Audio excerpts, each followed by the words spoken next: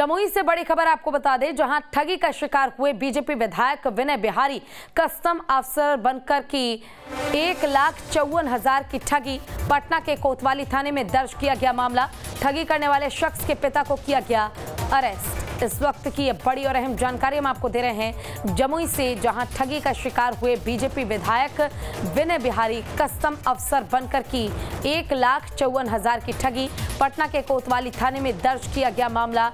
ठगी करने वाले शख्स के पिता को किया गया अरेस्ट।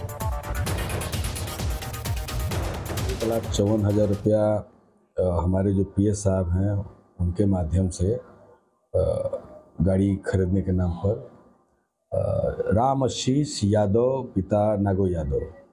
यहाँ हाँ जमुई मतलब मैं यहाँ पूर्णा खैरा खैरा थाने में हूँ और यहाँ पे पता मिला हमको उसी पता के बिहाफ में इसका एक कोतवाली थाने में भी एफआईआर दर्ज है। ज़्यादा जानकारी के लिए हमारे संवाददाता गौतम गुप्ता जुड़ गए हैं। गौतम क्या पूरा मामला है? देखिए पूजा ये पूरा मामला है जो कि पश्चिम चंपारण के लोहिया विधानसभा क्षेत्र के बीजेपी विधायक हैं विनय बिहारी।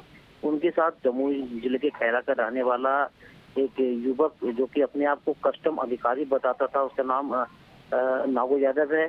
उसने विधायक से फ़ोन पे बात की और उन्हें बताया कि कस्टम का कुछ सामान है जिनकी नीलामी होनी है, आप उस नीलामी में भाग ले सकते हैं। कम कीमत में ही बहुत सारे जो वाहन है, वो आपको उपलब्ध कराया जाए, किया जाएगा। इसको लेकर उन्होंने एक लाख चौवन हज़ार जमा करने को कहा था।